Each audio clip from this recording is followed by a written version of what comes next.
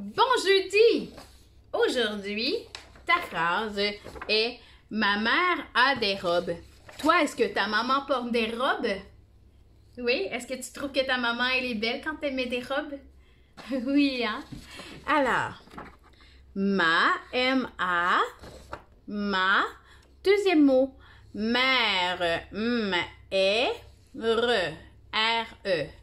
Ma mère donc on met un espace entre chaque mot, a, des.